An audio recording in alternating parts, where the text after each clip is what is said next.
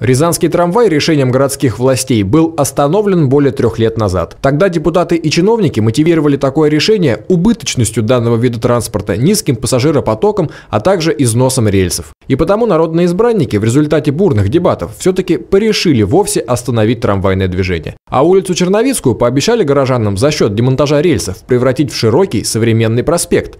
И поначалу этот план активно выполнялся. В сентябре 2010 года сразу несколько бригад рабочих приступили к разбору шпал, снятию проводов и трамвайных светофоров. Однако полностью работы так до сих пор не завершены. Куски железнодорожного полотна остались, причем в самых неудобных местах. Выглядит ситуация так, будто рабочие трамвайного депо и рязанские дорожники не смогли договориться между собой, кто будет убирать рельсы на проезжей части. Дескать, асфальтовая дорога находится в ведении муниципалитета, вот пусть за счет города и расчищают. Из-за подобной рассогласованности, например, на перекрестке улиц Черновицкой и Островского автомобилисты вынуждены терпеть неудобства не только из-за рельсов, но также из-за плохого асфальта. Похоже, что в очередной раз у городских властей не хватает то ли средств, то ли желания привести свое решение к окончательному и положительному положительному для горожан результату и убрать так надоевшие всем рельсы с проезжей части. А может проще опять трамвай запустить?